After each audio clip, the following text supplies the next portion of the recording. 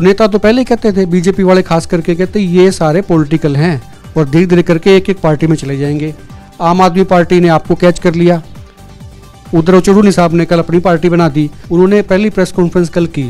कहते अपनी पार्टी बन गई एसएसपी जैसे मैंने बताया कि एमएसपी मांग रहे थे आप लोग। एमएसपी मिली नहीं वो एसएसपी देगी चौधरी साहब।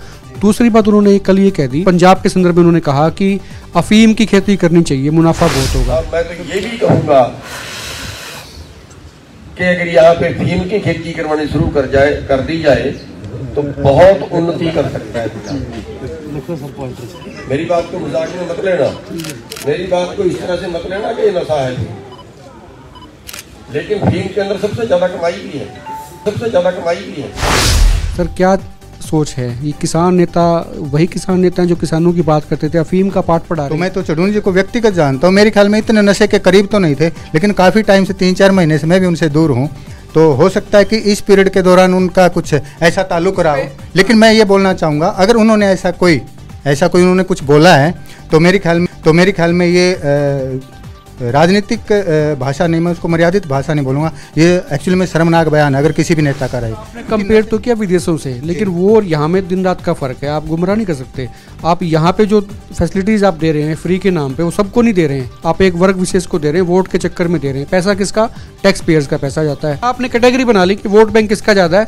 यहाँ से वोट लेना है बोले बाले लोग हैं इनको फ्री का जासा दे दो वोट ले लो चलते सर आपने दो स्कूल पकड़ रखे उन्हीं स्कूलों में आपने स्विमिंग पूल बनवा दिए उन्हीं के स्कूलों के बच्चों को आप इंडिगो की फ़्लाइट से ले जाते हैं फ़ोटो छपवा देते हैं देखो तीस बच्चों को हम जयपुर घुमाने ले गए। तो ये आप तमाशा करके वोट ले जाते हैं। सर्वेश जी आपका बिल्कुल क्वेश्चन जायज़ है क्योंकि आप पत्रकारिता का बिल्कुल अपना फ़र्ज़ अदा करें लेकिन मैं आपको एक चीज़ गारंटी के साथ बोल रहा हूँ दो नहीं आपको दो स्कूल ऐसे नहीं मिलेंगे जिनमें फैसिलिटीज़ नहीं है। आप ईमानदारी से बताना सर ये इन जांचों में आपको क्या लगता है? पंजाब के लोग आ जाएँगे? मैं तो पहली बात तो इसको झांसा नहीं बोलूँगा ये एक कमिटमेंट है और कमिटमेंट ये पंद्रह लाख वाली नहीं है कि बोल करके फिर उसको बोल दे कि हमारे चुनावी जुमले थे।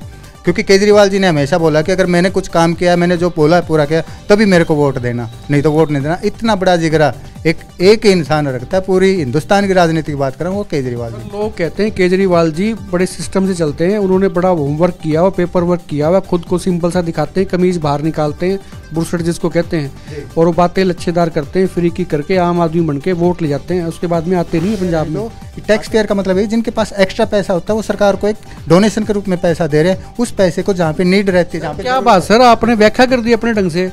टैक्स पेयर का पैसा डोनेशन कैसे हो सकता है सर वो तो कर लगाया आपने टैक्स लगाया। रहे कर हैं लेकिन उसको आप डोनेशन के तौर पे डोनेशन स्वेच्छा से होती है। मेरा दिल किया तो मैंने डोनेट किया नहीं तो नहीं किया। कर तो आपको देना ही पड़ेगा। हरियाणा दिल्ली के बिल्कुल नज़दीक है। जब दिल्ली आपने जीती केजरीवाल जी बन गए सीएम तो उसके बाद में दूसरी बार दूसरे नंबर पे हरियाणा टारगेट रहा था।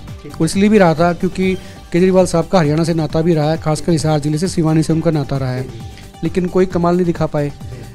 नवीन जैन बनाए थे उस वक्त अध्यक्ष वो बीच में सो गए थे या जो भी था वो कहीं चले गए थे जो भी थे अभी वो आ रहे हैं उनका ये नहीं पता चलता वो पार्टी में है कि अपने लेवल पे काम कर रहे हैं। पार्टी आपकी बिक्री बिक्री सी है।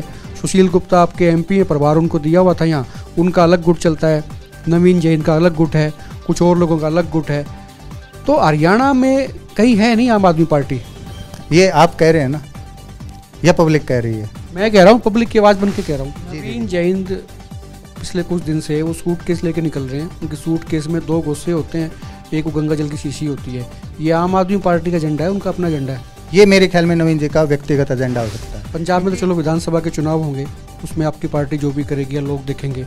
हरियाणा की बात करें तो यहाँ भी म्यूनसिपल चुनाव होने हैं इलेक्शन होने हैं। नगर परिषद है नगर पालिकाएँ हैं। फोर्टी थ्री के आसपास ये रहेंगी। आपकी पार्टी ने भी ऐलान किया कि हम अब चेयरमैन का चुनाव लड़ाएँगे सिंबल पर लड़ाएँगे। एक आदमी को नज़र में है जगह जहाँ से आपको उम्मीद है कि वहाँ से हो सकता है कि आपका आदमी जीत के निकल आए। और मैं एक चीज़ और बता दूँ जो लोग देख रहे हैं जो टोल पे जो चीज़ें चली थी जो एक साल तक आपने फ्री टोल के मज़े लिए थे वो आइडिया ही नहीं का था। नमस्कार एक मत पोस्ट में आपका स्वागत है। मैं हूँ सर्वेश कुकरा। आज हमारे स्टूडियो में एक बेहद खास मेहमान है। एनएसजी के कमांडो रहे हैं रामेश्वर शौरान और इन दिनों आम आदमी पार्टी में हैं। इनको बहुत से लोग जानते भी हैं और जो लोग नहीं जानते हैं, थोड़ा सा मैं तारुफ करवा दूँ। मुंबई का जो 26 ग्यारह का जो हमला हुआ था, उसमें इनकी भूमिका थी देश को बचाने में, मुंबई को बचाने में उन दहशतगर्दों से। उस वक्त ये एनएसजी में थे। आज एनएसजी में भले ही ना हो, लेकिन कमांडो तो कमांडो ही रहता है। वो चाहे सेना में जब होता है, डिफेंस में होता है या कहीं भी होता है, या फिर जब वो छोड़ के चीज़ें आ जाता है, तब भी वो जो कमांडो की जो पदवी है, जो एक लेबल है, वो जाता नहीं है। और इन दिनों ये आम आदमी पार्टी में है। आम आदमी पार्टी के पश्चिमी जोन में संगठन का प्रभार इनके पास है, संगठन मंत्री हैं। इनसे बहुत सारे मुद्दे हैं, बातचीत करेंगे। और दूसरी बात ये भी है कि जो किसान आंदोलन था हाल ही में, उसमें भी इनकी बहुत बड़ी भूमिका रही थी। काफ़ी सारे मुद्दे हैं, उनसे बात करेंगे। सुरान साहब बहुत बहुत स्वागत है। पहली बार स्टूडियो में आप आ रहे हैं। जय हिंद, जय भारत सर्वेश जी। और सबसे पहले तो मैं आपके चैनल के माध्यम से एक बात और रखूँगा कि जिस हिसाब से आपकी एक सकारात्मक पत्रकारिता पूरे हरियाणा प्रदेश को नहीं बल्कि प्रदेश से बाहर भी आपके चैनल को लोग देखते हैं जो आप एक चौथे स्तंभ की बात करते हैं लोकतंत्र के वो उसको आप कायम कर रहे हैं अपनी मिसाल को तो मैं इसके लिए आपको साधुवाद बनूँगा। चलो आपने कह दिया आपका बहुत बहुत शुक्रिया और हम एक दूसरे की तारीफ़ करते रहेंगे तो काम नहीं चलेगा सवाल बहुत हैं सर। और सवाल आएँगे पूरे। सबसे पहला सवाल तो यही है कि जो किसान आंदोलन के वक्त लोग थे वो भले ही आप थे, हालाँकि आपका बैकग्राउंड पहले भी पॉलिटिकल रहा है जेजेपी से आपका नाता रहा है, अभी आप आम आदमी पार्टी में है, बीच में किसानों की आप सपोर्ट भी कर रहे थे। तो नेता तो पहले कहते थे बीजेपी वाले खास करके कहते ये सारे पॉलिटिकल हैं और धीरे धीरे करके एक एक पार्टी में चले जाएँगे। आम आदमी पार्टी ने आपको कैच कर लिया। उधर चौधरी साहब ने कल अपनी पार्टी बना दी। वो लोग कह रहे थे, कहते एमएसपी मांग रहे हैं एमएसपी तो मिली नहीं एसएसपी दे के चौधरी साहब निकल लिए वहाँ से।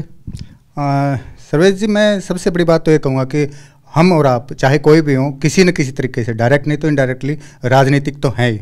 जब तक हम इस चीज़ को डिनाई करते रहेंगे, मना करते रहेंगे कि भाई हमारा राजनीति से कोई नाता नहीं है तो शायद कहीं ना कहीं एक अंधकार में हम खुद भी बैठे और साथ वालों को बैठाने का काम कर रहे हैं। भले ही हम राजनीति को आज गंदी मानते हैं। राजनीति को जब तक हम गंदी मानेंगे, सिर्फ़ उससे काम नहीं चलेगा। उस सिस्टम के अंदर अगर आपको सिस्टम चेंज करना है तो आपको कूदना पड़ेगा किसी भी तरीके से। जजपा पार्टी की बात करें तो मैंने अनकंडीशनल सपोर्ट किया था उस टाइम पे, और एक उम्मीद के साथ कि युवा नेतृत्व है और किसान जो परिवार की बात करते हैं चौधरी देवीलाल जी का नाम लूँगा तो मैं तो उनके परिवार से उनके वंशज हैं और शायद किसानों का हमारा जो एक हरियाणा की बात करें, हरियाणा प्रदेश की बात करें तो उसको लेकर के उनके बीच कुछ प्लानिंग होंगे और कुछ अच्छा करेंगे। लेकिन जैसे ही इन्होंने जैसे इन्होंने किसान आंदोलन की बात करें हम, यानी किसानों के एमएसपी की बात लेकर के या उनके कानूनों की बात करके जब तीन काले कानून की बात हो रही थी, तब इनका स्टैंड जो था, वो किसानों और सरकार के बीच में, सेंट्रल गवर्नमेंट के बीच में एक बैरियर का काम कर रहे थे। तो उसी चीज़ के चलते हमने पार्टी को तुरंत अपने तरीके से एक अंदाज से अपने से अलग हुए और हमने सपोर्ट किया किसानों, क्योंकि हमारी जो जड़ है, वो किसान, मजदूर और एक लड़ाई जो है, वो हमारी हमेशा से पूंजीपतियों के खिलाफ रही है। मैं तो सीधे शब्दों में आपके चैनल के माध्यम से एक्सेप्ट करता हूँ, स्वीकार करता हूँ कि हम भगत सिंह को पढ़ के बड़े हुए हैं। भगत सिंह वाला इनकलाब हमारे अंदर है। अगर आज हम आम आदमी पार्टी से बात कर रहे हैं कि जैसे आपने बता ही दिया चैनल पर कि आम आदमी पार्टी के अंदर हम अपनी भूमिका दे रहे हैं, या मेरे को ग्रैप कर लिया या पकड़ लिया तो ऐसा कुछ नहीं, क्योंकि मैं केजरीवाल जी की नीतियों से पहले भी प्रभावित रहा हूँ। भले ही उस टाइम पे इस तरह का माहौल नहीं था कि हम यहाँ पे इस पार्टी को, यानी कि आम आदमी पार्टी को स्टैंड कर पाए। तो इसी बात के चलते हमने एक युवा चेहरा और एजुकेटेड जिसकी बात करते, किसान परिवार से आने वाले चेहरे को चुना था। क्योंकि बीजेपी को जमुना पार की बात कर रहे थे और मोदी और अमित शाह को दोनों को रंगा बिल्ला मतलब इस तरह की लैंग्वेज यूज़ करे थे। जब उनके साथ चले जाना, वो वहाँ तक गले उतरा था। लेकिन जब किसानों की बात आई तो उनके खिलाफ, किसानों के खिलाफ खड़े हो जाना, ये हमारे को अखरा। और हमने वहाँ पे उसी टाइम इनको तिलांजलि यानी तिरस्कार कर दिया, और हमने किसान आंदोलन के अंदर जितना भी हमारे से हुआ उतना कंट्रीब्यूट करने की कोशिश की। सर, किसान आंदोलन की मैं बात कर रहा था आपसे। मैंने आप, ज़िक्र किया कि लोग कहते थे, खासकर बीजेपी वाले, वो चले जाएँगे। तो वो चीज़ें तो सच हो रही हैं। वो गुरनाम सिंह चुड़ूनी ने पार्टी बना ली, कहते, पंजाब में इलेक्शन लड़ेंगे, टिकटें बांटेंगे। तो ये टिकटें बांटने का शौक आप तो बड़े करीब से जानते हो चुड़ीन साहब को। और मैं एक चीज़ और बता दूँ, जो लोग देख रहे हैं, जो टोल पे जो चीज़ें चली थी, जो एक साल तक आपने फ्री टोल के मज़े लिए थे, वो आइडिया ही नहीं का था। वो आपने फ्री टोल लोगों को करवा दिए थे, आज वो याद कर रहे हैं, वो दोबारा से चार्जेस लगने शुरू हो गए। चलिए आइडिया तो भले ही हमारे रहे हों और ठीक हमने चढ़ूनी जी को बिल्कुल उस चीज़ के लिए एक तवज्जो दी कि एक किसान चेहरा है और किसान चेहरा ही आगे आना चाहिए जब किसानों की लीडरशिप की बात हो। और अगर आप बात कर रहे हो कि बीजेपी वाले ऐसा बोल रहे थे बीजेपी जेजेपी कांग्रेस, आम आदमी पार्टी, ये सारी राजनीतिक पार्टियाँ हैं। लेकिन हम जिस देश और जिस परिवेश में रह रहे हैं उस पर असर क्या पड़ रहा है किसी भी राजनीतिक पार्टी का? उसके ऊपर हमारे को सोचने की ज़रूरत है। आज हमारे प्रदेश के अंदर जो सिचुएशन सर की मैं बता देता हूँ बीच में मैं आपको रोक रहा हूँ आपने कहा सर और मैंने ये कहा कि आप चढ़ूनी साहब को जानते भी अच्छी तरह से इसमें कोई शक नहीं है। उन्होंने पहली प्रेस कॉन्फ्रेंस कल की। कहते अपनी पार्टी बन गई एसएसपी जैसे मैंने बताया कि एमएसपी मांग रहे थे आप लोग एमएसपी मिली नहीं वो एसएसपी देगी चौधरी साहब। दूसरी बात उन्होंने कल ये कह दी किसी भी संदर्भ में कह दी, कहा कि पंजाब के संदर्भ में उन्होंने कहा कि अफीम की खेती करनी चाहिए, मुनाफा बहुत होगा। सर, क्या सोच है? ये किसान नेता, वही किसान नेता हैं जो किसानों की बात करते थे, अफीम का पाठ पढ़ा रहे हैं। कहते हैं, अफीम की खेती कर लो, और साथ में ये भी कहते हैं, इस बात को नजायज़ गलत ना समझें। आमदनी ज़्यादा होगी इस बात से। उड़ता पंजाब तो पहले लोग कहते थे, जो फ्लाइंग पंजाब या कोई और पंजाब या तेज़ रफ्तार से दौड़ता, पंजाब को मतलब कहाँ नशे की बात क्यों की जाती है? देखिए एसएसपी दे दी एमएसपी के बदले वो चढ़ूनी साहब को आप बोल सकते हो। और बोलना आपका भी काम है और मेरे ख्याल में पब्लिक भी इस तरह के क्वेश्चन उठाएगी। लेकिन जो बात आप दूसरे संदर्भ में कह रहे हो कि उन्होंने कल ऐसा एक बयान दिया है कि वहाँ पे अफीम की खेती हो तो मैं तो चढ़ूनी जी को व्यक्तिगत जानता हूँ। मेरे ख्याल में इतने नशे के करीब तो नहीं थे लेकिन काफ़ी टाइम से तीन चार महीने से मैं भी उनसे दूर हूँ।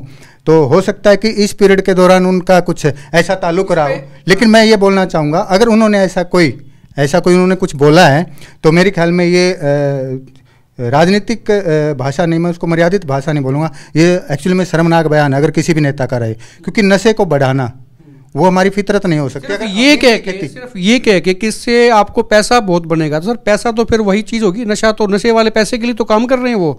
आप भी उसी पैटर्न पे आगे। नहीं बिल्कुल गलत है। मैं इस चीज़ से कभी भी है ना वास्ता नहीं रखूँगा। अगर चनूनी जी ने ऐसा बोला है तो न्यायती है बिल्कुल गलत अंदाज और गलत तरीका है। और रही बात अगर अफीम की खेती करके वो पंजाब को या देश को ये सोच रहे हैं कि तरक्की करेगा पैसे से मैं तो बोलता हूँ कि आज उड़ता पंजाब जैसे आपने बोल दिया। तो ये तो उड़ता भारत हो रखा है। पूरे देश के अंदर क्या हालात है नशे के चलते? अगर ऐसा वो कुछ करें तो ये नहायत ही शर्मनाक बयान रहेगा उनका और ये उनको सारी ज़िंदगी तंग करेगा, ये वाला बयान। बिल्कुल करेगा लोगों को इस पर खुल के कमेंट भी करनी चाहिए कि जब एक नेता ये कहता है नई नई पार्टी बनाते हैं और वो ये कहते हैं कि अफीम की खेती को वो तरजीह देते हैं, अपनी बातों, अपनी बात करते हैं और मोटिवेट करते हैं तो इससे मैसेज क्या जाता है? आप कमेंट करके बताएँ। दूसरी बात सर ये है कि आप आम आदमी पार्टी के नेता हो गए केजरीवाल साहब आपके आइडल हो गए तो जो दिल्ली में जो झुंझुना दिखाया था लोगों का फ्री का वही पंजाब में आप दिखा रहे हैं। तो फ्री की आदतें क्यों डालना चाहते हैं? मतलब लोगों को नकारा नकामयाब बनाना चाहते हैं? देखिए, जब हम एक आम नागरिक को कुछ फैसिलिटी, जो कि उसका मूलभूत अधिकार है, उसको देने की बात करते हैं तो कुछ अपोजिशन वाले या ये बात कहेंगे कुछ राजनीतिक मंशा वाले लोग, या जिस हम राजनीति के खिलाफ लड़ाई लड़ने के लिए, सिस्टम की लड़ाई लड़ रहे हैं तो उन लोगों का एक एजेंडा स्पष्ट हो जाता है कि कोई भी चीज़, अगर किसी को बेसिक चीज़ उसको अगर सरकार की एक ड्यूटी होनी चाहिए गवर्नमेंट की एक ड्यूटी रहती है टैक्स लेते हैं किस चीज़ के लिए लेते हैं? सरकारें जो टैक्स ले रही हैं। अगर हमारी बेसिक नीड्स जो है हमारी ज़रूरतें हैं जो अगर उनको पूरा नहीं कर पा रहे तो किस चीज़ के लिए? तो इसको आप फ्री का नहीं मानिए ये एक हक है राइट है पब्लिक का। अगर ये दे रहे हैं आप फ़ॉरन के अंदर जाओगे बाहर विदेशों में जाओगे जो एक संपन्न देश है यानी विकसित देश है उन देशों के अंदर अट्ठारह साल तक का बच्चा होता है तब तक गवर्नमेंट की एक जिम्मेवारी है। जब एक बुज़ुर्ग हो जाता है तो उसका देख की जिम्मेवारी गवर्नमेंट की है। सर आपने कंपेयर तो किया विदेशों से लेकिन वो और यहाँ में दिन रात का फ़र्क है, आप गुमराह नहीं कर सकते। आप यहाँ पे जो फैसिलिटीज़ आप दे रहे हैं फ्री के नाम पे, वो सबको नहीं दे रहे हैं। आप एक वर्ग विशेष को दे रहे हैं वोट के चक्कर में दे रहे हैं। पैसा किसका? टैक्स पेयर्स का पैसा जाता है। टैक्स पेयर का पैसा है एकदम से सभी को सारी चीज़ें पॉसिबल नहीं है। आपने बता दिया कि जो चीज़ें उन देशों में अप्लाई हो रही हैं वो हमारे यहाँ पे नहीं हो सकती एकदम से। वो सबके लिए विदेशों में सबके लिए है लेकिन आपने कैटेगरी बना ली कि वोट बैंक किसका ज़्यादा है? यहाँ से वोट लेना है बोले बाले लोग हैं इनको फ्री का जासा दे दो वोट ले लो चलते बनो। नहीं महिलाएँ हैं वो तो अमीर घर में भी है और गरीब घर में भी है। अगर वो गाड़ी छोड़ करके बस में जाना पसंद करें दिल्ली में तो उनको फ्री ऑफ़ कॉस्ट बस की यात्रा मिल रही है। शिक्षा का काम जो हो रहा है उस पर बात कर रहे हैं हम। एजुकेशन शिक्षा की बात ये सर आपने दो स्कूल पकड़ रखे उन्हीं स्कूलों में आपने स्विमिंग पूल बनवा दिए, उन्हीं के स्कूलों के बच्चों को आप इंडिगो की फ़्लाइट से ले जाते हैं, फ़ोटो छपवा देते हैं, देखो तीस बच्चों को हम जयपुर घुमाने ले गए। तो ये आप तमाशा करके वोट ले जाते हैं। शर्वेश जी, आपका बिल्कुल क्वेश्चन जायज़ है क्योंकि आप पत्रकारिता का बिल्कुल अपना फ़र्ज़ अदा करें, लेकिन मैं आपको एक चीज़ गारंटी के साथ बोल रहा हूँ, दो नहीं, आपको दो स्कूल ऐसे नहीं मिलेंगे जिनमें फैसिलिटीज़ नहीं है। आपको दो स्कूल भी नहीं मिलेंगे ऐसे जैसी आप बात बोल रहे हो कि भाई वहाँ पर ऐसा नहीं है। मैं आपको गारंटी दे रहा हूँ, आप जाइए दिल्ली और एक बार है इस माइक को लेकर के अपनी पत्रकारिता का एक वहाँ पर भी जज्बा जो यहाँ पे वहाँ पर दिखाइए, आपको पता चलेगा कि हर स्कूल और हर हॉस्पिटल के अंदर जो चीज़ें बोल रहे हैं, बिल्कुल आपको दिल्ली का हर नगरवासी बोलेगा कि हाँ ये चीज़ यहाँ पे जेनवन है। अच्छा ईमानदारी से बताना सर ये इन झांसों में आपको क्या लगता है? पंजाब के लोग आ जाएँगे? मैं तो पहली बात तो इसको झांसा नहीं बोलूँगा ये एक कमिटमेंट है और कमिटमेंट ये पंद्रह लाख वाले नहीं है कि बोल करके फिर उसको बोल दे कि हमारे चुनावी जुमले थे।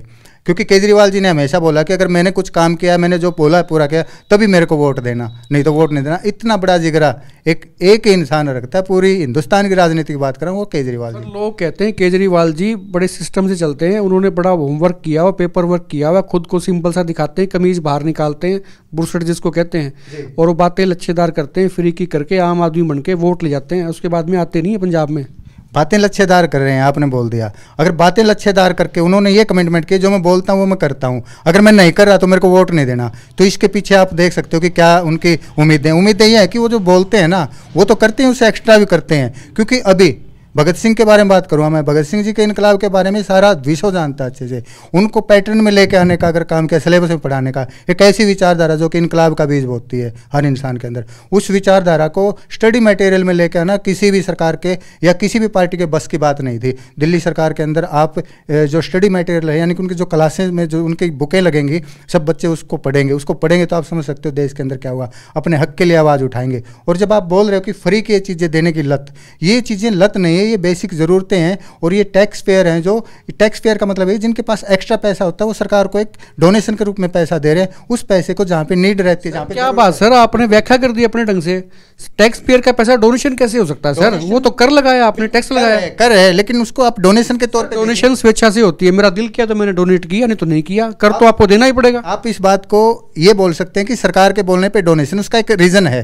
क्योंकि जब आपके पास एक्स्ट्रा पैसा है तभी आपको टैक्स पे करना पड़ता है। जब आपके पास एक रीजनेबल पैसा है या एक स्लैब के अनुसार आप आ रहे हो तो आपको पैसा नहीं देना पड़ रहा टैक्स का। लेकिन आप जब टैक्स का पैसा देते हो उसको किस चीज़ के लिए दे रहे हैं? क्या एम एल को जब हम फ्री में सारी सुविधाएँ देते हैं दो दो ढाई ढाई लाख के इनके बिजली के बिल हो जाते हैं इनके पास इतनी गाड़ियाँ चलती हैं उनका पेट्रोल डीजल का कोई हिसाब मैं मान गया सर आपकी बात लेकिन केजरीवाल साहब के एमएलओ ने आज तक क्यों नहीं छोड़ी वो? वो तनख्वाह क्यों नहीं छोड़ते हो? गाड़ियाँ क्यों नहीं छोड़ते? हो बंगले क्यों नहीं छोड़ते वो? तनख्वाह एक अलग चीज़ है फैसिलिटी अलग चीज़ है। जब आप तनख्वाह के नाम पे तो आप लाख पचास हज़ार रुपये जो भी आप एक पैसा ले रहे हो पेमेंट ले रहे हो वो आपकी जग जा रही है। लेकिन उसके पीछे आप पता है आपको एक एमएलए और एक एमपी एक एमएलए और एक एमपी को एक ए, ए, मतलब खड़ा रखने के लिए भी उसके ऊपर महीने का कम से कम पचास लाख रुपया खर्च कर रहे हैं ये लोग। वो पैसा किसका? वो टैक्स पेयर का है। अगर उसी पैसे को उसी पैसे को वहाँ से कटौती करके अगर आम जनता की सुविधा के लिए दिया जाए वही तो कह रहा हूँ सुरान साहब मैं वही कह रहा हूँ आम आदमी पार्टी के केजरीवाल के एमएलओ ने कितनी सुविधाएँ छोड़ दी कोई मुझे बता दो आप। बिल्कुल आम आदमी पार्टी के अगर आप किसी ऑफ़िस में जाओगे आपको वहाँ पे एक्स्ट्रा सिक्योरिटीज नहीं मिलेगी आपको वहाँ पे एक्स्ट्रा कोई ढोंग ढर्रा कुछ भी नहीं मिलेगा। सिंपल आपको एक टेबल के पीछे एक बंदा मिलेगा आपको पता भी नहीं होगा ये विधायक बैठे हैं एमपी बैठे हैं कोई सामान तो कह ही रहा हूँ सर ये तरीके तो आपके पास बहुत है उनकी जाँच करवा दो ना जो जो एमएलए बने थे पाँच साल पहले केजरीवाल साहब के उनके पास संपत्ति पहले क्या थी आज क्या हो गई? ये तो केजरीवाल जी बोलते और हम भी यही चीज़ बोले जाँच तो करवानी चाहिए जाँच करवाएगा कौन? सेंट्रल गवर्नमेंट किसकी ईडी किसकी है? लगाते तो कितनी बार तो ये पीछे करते हैं लेकिन मिलता क्या है? वही पंजाब में चुनाव होंगे आम आदमी पार्टी का चेहरा कौन? आम आदमी पार्टी के चेहरे पे अभी हमारे को तो इतना पता नहीं कि आम आदमी पार्टी का चेहरा कौन लेकिन जैसे जो हवा अभी चल रही है जैसे केजरीवाल जी की स्टेटमेंट आई है तो मैं उम्मीद कर सकता हूँ कि आम आदमी पार्टी का चेहरा एक ऐसा चेहरा होगा जो कि पंजाब को ही नहीं मेरे ख्याल में देश को भी गर्व होगा। कुछ तो हमारे ये भी कहते हैं कि वो जो किसान नेता इधर उधर हो रहे हैं उनको भी फिर आप ग्रैब कर रहे हो एक दो नेता आपकी भी रडार पे हैं कहते इनको ले आओ पार्टी ग्रो कर जाएगी वहाँ। देखिए अगर जनता को वो चीज़ें पसंद है और वो अगर कोई ऐसा बंदा राजनीति करना चाह रहा है तो इस बारे में तो मेरे ख्याल में हमारे को पहले कयास लगाना हमारी बेवकूफ़ी होगी क्योंकि वो सारी की सारी चीज़ें पार्टी लाइन के बीच में डिस्कस होती हैं और वही चीज़ें अगर आम आदमी के घर से या आम लोगों के बीच से चाहे वो किसान हो मजदूर हो या कोई जॉब करने वाला बंदा है अगर वो वहाँ पर बैठ रहे हैं उन चेयरों पर जहाँ पर डिसीज़न मेकिंग पावर होती है तो सीधी सी बात है कि उन्हीं लोगों के लिए प्लान और योजनाएँ बनेंगी। हरियाणा की बात भी कर लेते हैं। हरियाणा दिल्ली के बिल्कुल नज़दीक है। जब दिल्ली आपने जीती केजरीवाल जी बन गए सीएम तो उसके बाद में दूसरी बार दूसरे नंबर पे हरियाणा टारगेट रहा था। वो इसलिए भी रहा था क्योंकि केजरीवाल साहब का हरियाणा से नाता भी रहा है खासकर हिसार ज़िले से सिवानी से उनका नाता रहा है। लेकिन कोई कमाल नहीं दिखा पाए। नवीन जैन बनाए थे उस वक्त अध्यक्ष वो बीच में सो गए थे या जो भी था वो कहीं चले गए थे जो भी थे अभी वो आ रहे हैं उनका ये नहीं पता चलता वो पार्टी में है कि अपने लेवल पे काम कर रहे हैं। पार्टी आपकी बिक्री बिक्री सी है। सुशील गुप्ता आपके एमपी है प्रभार उनको दिया हुआ था यहाँ उनका अलग गुट चलता है। नवीन जैन का अलग गुट है, कुछ और लोगों का अलग गुट है। तो हरियाणा में कहीं है नहीं आम आदमी पार्टी? ये आप कह रहे हैं ना? यह पब्लिक कह रही है? मैं कह रहा हूँ पब्लिक की आवाज़ बन के कह रहा हूँ। जी जी जी। मैं आपको पब्लिक की आवाज़ ही सुनाना चाहूँगा। लोग एक उम्मीद कर रहे हैं कि आम आदमी पार्टी एक ऐसा विकल्प बन के आएगा हरियाणा के अंदर क्योंकि यहाँ पे किसानों की दुर्दशा सबने देख लिया हम खुद उसके भुगत सर आपका दस साल से ना कोई एमपी बना ना कोई विधायक बना ना कोई एमसी बना ना कोई चेयरमैन बना। मतलब दस साल तो अन्ना आंदोलन को भी नहीं और उसके बाद में पार्टी रेज हुई है। आंदोलन से निकली पार्टी है। दस साल नहीं हुए पार्टी को बने हुए। आप एग्जैक्ट फिगर में चले गए दूसरी बार आपकी सरकार रिपीट कर रही है दिल्ली में तो आप हाँ। उसका हिसाब से आप समय लगा लें कितना समय आपको हो गया? आपको मैं एक बात बता दूँ दिल्ली के अंदर किसानों का जो एक आप सिनेरियो चेक करोगे तो आपको पता चलेगा वहाँ पे मुआवजा क्या मिला किस तरीके से मैं अपने हरियाणा की बात पे आऊँगा। हरियाणा हमारा कृषि प्रधान है इसमें कोई शक नहीं देश ही हमारा कृषि प्रधान है। लेकिन हरियाणा तो मोस्ट ऑफली आप ये कह सकते हो कि किसानों के दम पे ही किसानों के बल पे ही चल रहा है। सवाल यही था कि हरियाणा को आप क्यों नहीं ये समझा पाए या जता पाए कि भाई आम आदमी पार्टी आपके साथ है, आपके बीच में आप पे भरोसा लोगों ने क्यों नहीं किया या क्यों नहीं कर रही हरियाणा की जनता? देखिए, इस हिसाब से फोकस ही नहीं किया गया हरियाणा के ऊपर, मैं बता रहा हूँ। वो टाइम था जब आप, जब इसकी बात करो। क्योंकि पार्टी नई नई खड़ी हुई थी और उस टाइम पे दिल्ली के साथ साथ पूरे प्रदेश की नहीं, मैं पूरे हिंदुस्तान की बात करूँगा। हर जगह पे पार्टी ने एक ट्राई किया था कि हम लोग अपना कहाँ कहाँ अपना सिस्टम जमा सकते हैं। यानी पार्टी का हम काम कर सकते हैं। यानी कि पार्टी के लिए लोगों को अवेयर कर सकते हैं। तो एकदम से इतने छोटे लेवल से और इतने बड़े पैमाने पर काम करना, शायद या तो वो कमी रहेगी। मैं मेरा व्यक्तिगत विचार दे रहा हूँ। दूसरी बात, आज अगर हम आम आदमी पार्टी की बात हरियाणा में कर रहे हैं तो मैं आपको वादे के साथ कह सकता हूँ कि अभी जो इलेक्शन अभी ड्यू हैं, यानी कि पंचायती इलेक्शन भी होंगे, यहाँ पे निकाय चुनाव भी होने हैं। यहाँ पे अपनी बहुत ज़बरदस्त प्रेजेंटेशन देने वाली है आम आदमी पार्टी और एहसास करवा देगी कि आगे आने वाला टाइम आम आदमी पार्टी का वजह है उसकी क्योंकि आम आदमी पार्टी ये समझ चुकी है कि इस चीज़ को हम किस तरह से कृषि के लिए या हम किसानों के लिए क्या कर सकते हैं और उसका एक नमूना अभी जो किसान आंदोलन चला, उसमें केजरीवाल जी ने बहुत अच्छे से दिया है, जो एक्सपोर्ट की है और खुल के की है। क्योंकि जब हम लोग स्टार्ट में बाय रोड जैसे नेशनल हाईवे टेन की बात करें या इधर से बात करें, जब दिल्ली के अंदर जा रहे थे, खुले जेल बनाने के लिए स्टेडियम के लिए ऑफ़र किया गया था भारत सरकार की तरफ़ से। तब एक बंदा वही थे, केजरीवाल जी ने बोला था कि मैं इस चीज़ के लिए कभी भी तैयार नहीं हूँ कि स्टेडियम के अंदर किसानों को बुला लिया जाए और यहाँ पर उनको रोक दिया जाए। उस दिन के बाद जब से उन्होंने कंटिन्यू किसानों के साथ सपोर्ट किया, इस आंदोलन को सपोर्ट किया, और जो भी आज हमारे जैसे साथी हैं, वो सारे के सारे एक आम जन आम घर से निकले हुए हैं और वो इस सिस्टम से तंग आ चुके हैं जो राजनीतिक परिवारों का एक बपोती रही या देन रही है जिन्होंने राजनीतिक तरीके से अलग अलग भाषाओं में देश को चूसने का और प्रदेश को लूटने का काम किया है। नवीन जैन पिछले कुछ दिन से वो सूट केस लेके निकल रहे हैं। उनके सूट केस में दो गुस्से होते हैं एक वो गंगा जल की शीशी होती है। ये आम आदमी पार्टी का एजेंडा है उनका अपना एजेंडा है? ये मेरे ख्याल में नवीन जी का व्यक्तिगत एजेंडा हो सकता है क्योंकि अगर ऐसा कुछ होता तो हमारे कोई पार्टी फॉर्म में पता चलता कि ऐसा कुछ है तो पार्टी वहाँ पे कंप्लीट खड़ी होती साथ में। तो ये उनका व्यक्ति लगता है कि ये जो गोस्से दिखाने से गंगा जल करने से धरातल पे कुछ है नहीं तो इससे लोग आपके साथ जुड़ेंगे?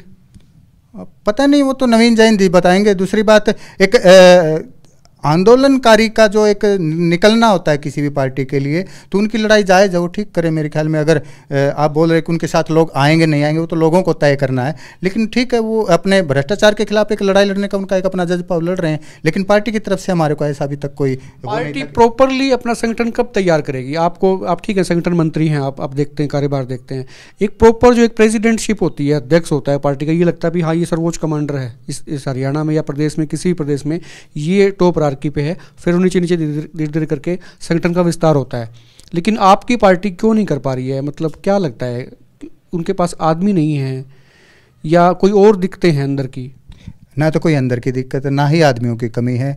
रही बात प्रदेश के लिए अगर हम बात करें तो प्रदेश के लिए हमारे सर्वसर्वा भी फ़िलहाल राज्यसभा सांसद जो कि सुशील गुप्ता जी हैं बड़ी दिन रात मशक्क़त करके बहुत मेहनत करके पार्टी को इतना मज़बूत करने का काम कर रहे हैं कि आप उनको देखोगे तो डे टू नाइट वो लोग यहीं पर देखा है सर उनका मैंने देखा है वो महीने दो महीने में एक आध बार उनकी कहीं आती है कहते हैं जी दौरा कर रहे हैं वो हिसार गए थे हिसार से दिल्ली चले गए। तो गुप्ता जी तो सर वो गाड़ी में बैठ कर निकल जाते हैं। नहीं नहीं ऐसा नहीं ऐसा नहीं है। ऐसी इस बात से मैं बिल्कुल इतफाक नहीं रखता आपकी से क्योंकि उनका अगर रात में वो दिल्ली में है तो सुबह आपको यहाँ पे मिलेंगे। अगर सुबह यहाँ पे हैं तो आपको रात को मिलेंगे करनाल साइड में। कहने का मतलब मेरा ये है अगर वो मूवमेंट भी कर रहे हैं तो पूरे प्रदेश के अंदर करें इलाके में पूछना ही चाह रहा था कि जो आम आदमी पार्टी का जो बेस था वो ये था कि एक आम आदमी निकल के आए। और उस वक्त जब ये पार्टी आपकी फॉर्म हुई थी तब थोड़ा क्रेज़ भी था। लोगों में वो टोपी का क्रेज़ था। लोगों ने पहन टोपियाँ पहन के निकलते थे। वो लगते थे भी मैं भी आम आदमी ये आपने स्लोगन ठीक ठाक दिया था। उससे जुड़े भी थे। लेकिन वो खत्म हो गया। उसके बाद धरातल पे कुछ नज़र ही नहीं आया। सुशील गुप्ता जी का अपने नाम ले दिया एमपी हैं जी वो, राज्यसभा के। है ना, केजरीवाल साहब ने राज्यसभा में भेज दिया, जैसे भी जो भी चीज़ें थी। लेकिन उनके सारे आपको लग रहा है कि आम आदमी का जो, वो जो जलवा था, वो कोई दोबारा से कभी आएगा? देखिए जो एक प्रदेश लेवल पे जाएँ अगर सह प्रभारी जी वो देख रहे हैं तो उनकी ड्यूटी वो बखूबी नहीं मेरे ख्याल में जिस हिसाब से वो काम कर रहे हैं एक नॉर्मल इंसान के लिए वो इतना संभव नहीं। जिस तरह से इस एज के अंदर भी वो भाग रहे हैं काम कर रहे हैं संगठन को जोड़ने का और मज़बूत करने का काम करें आपको भी कई लोग कह देते होंगे कहते जी वो आम आदमी पार्टी की टोपी डाल लिया करो। देखिए टोपी पहचान नहीं है।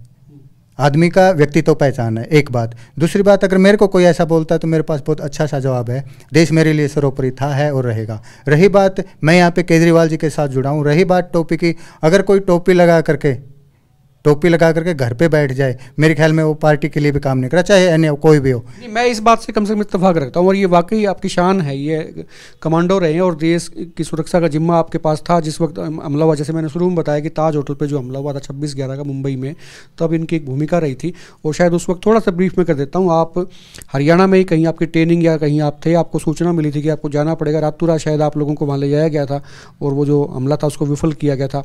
उस वक्त की ये शान है, ये मेडल्स जो हैं, ये तभी के हैं। तो वो तो नहीं, लेकिन मैं कह रहा था कि लोग पूछ लेते होंगे कभी ना कभी। नहीं, वो तो अगर किसी का ऐसा क्वेश्चन हो तो बड़े उनको शांति से, बड़ा, उनकी मंशा को शांत करने का काम कर देते हैं। दूसरी बात आम आदमी की टोपी ही सब कुछ नहीं है। आम आदमी की जो एक छवि है, वो दिल के अंदर है। केजरीवाल जी की छवि हम यहाँ पे लेकर के काम कर रहे हैं। आपको जो चीज़ें दिल के अंदर होती है, वो ज़रूरी नहीं है कि आप उसका आडंबर करें। लेकिन आम आदमी की पहचान, अगर आम आदमी की टोपी से बन रही है तो इसमें भी कोई है ना अतिशोक्ति नहीं है। पहननी चाहिए और पहनते हैं। कभी कभी ओकेजनली कुछ ऐसा हो तो हम लोग उसको लगाते हैं और वो हमारे लिए सम्मान की बात है, क्योंकि हम उस पार्टी के लिए नहीं, क्योंकि वो केजरीवाल जी ने जो एक स्लोगन दिया है, आम आदमी। तो आम आदमी की लड़ाई है और उसके लिए हमारे को भी फ़ख्र महसूस होता है। जब आम आदमी की टोपी या पटका कुछ डालते हैं तो। रही बात इन क्वेश्चनों का जवाब मेरे पास बहुत अच्छा सा होता है, वो मैंने आपको बता भी दिया।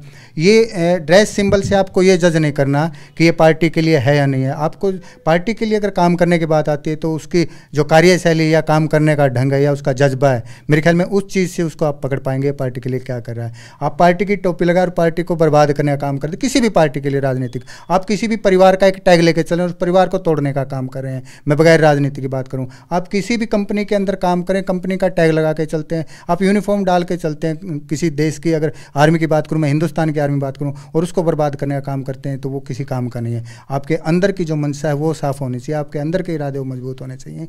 हम सिस्टम बदलने की लड़ाई लड़ने के लिए केजरीवाल जी के साथ खड़े हुए हैं तो इसमें हमारे को कोई गुरेज नहीं इस चीज़ को हम एक्सेप्ट भी खुले मन से करते हैं और इसके लिए हम संगठन को मज़बूत करने का काम डेट आखिरी सवाल सर। जी। पंजाब में तो चलो विधानसभा के चुनाव होंगे।